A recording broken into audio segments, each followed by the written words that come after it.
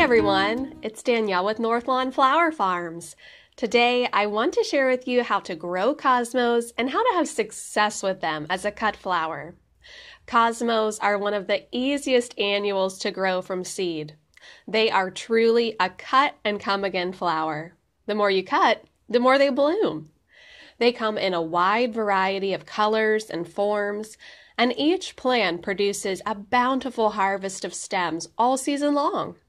They look wonderfully wild and airy all on their own, or pair them together with other annuals for beautiful mixed homegrown bouquets.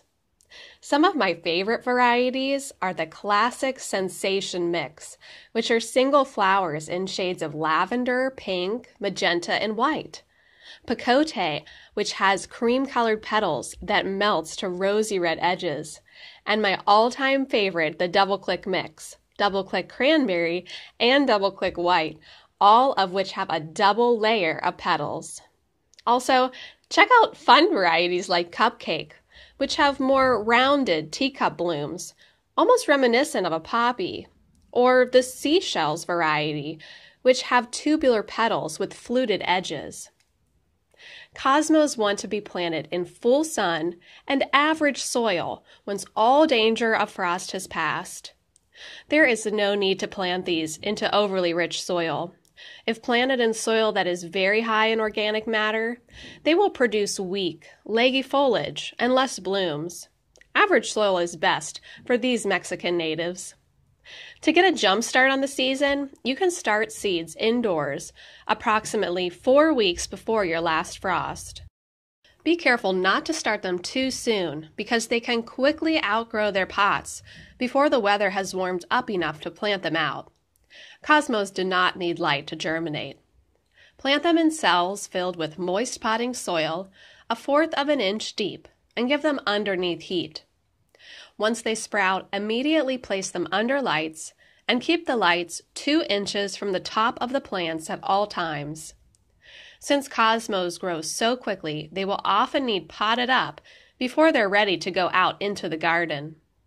Once all danger of frost has passed and you have hardened off your seedlings, you can place your transplants 12 to 18 inches apart in the garden. Cosmos benefit from pinching and will provide more blooms when pinched. Once your plants are 12 inches tall, snip the top 3 to 4 inches off the plant just above a set of leaves.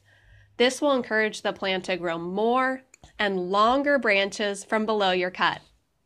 Cosmos get quite big and bushy, so it's a good idea to provide a support system when they are still young.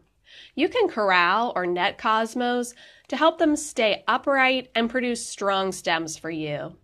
Harvest cosmos just as the bloom is starting to crack open. They will continue to open after they are harvested.